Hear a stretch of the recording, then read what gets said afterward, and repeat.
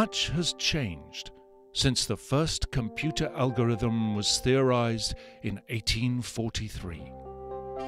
We've programmed machines to accomplish the once unimaginable.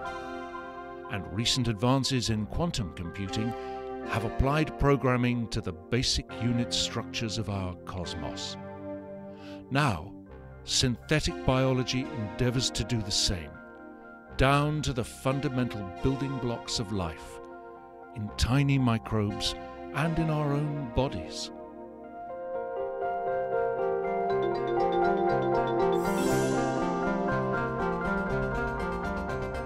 The digital platforms we've been building for years are finally helping us to understand the infinite wisdom that lives inside all of us. Based on our decades of computational experience, we are applying engineering to biology, reorganizing natural mechanisms to unlock new solutions.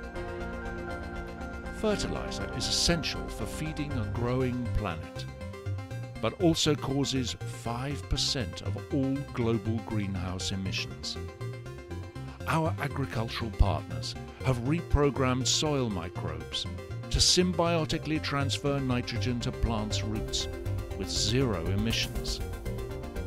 Our manufacturing partners have programmed microbes to produce fully biodegradable plastics at an industrial scale, including green plastic bags and our healthcare partners have developed T cell gene therapies that reprogram immune cells of pediatric cancer patients to recognize and kill leukemia and lymphoma cells.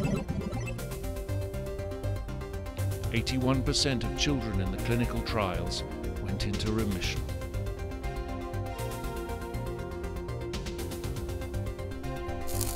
Life is a system of staggering complexity and sophistication. There is much to learn, and much that can be done to alleviate suffering and improve our stewardship of the planet. We should no longer think of technology as pushing us to the next frontier.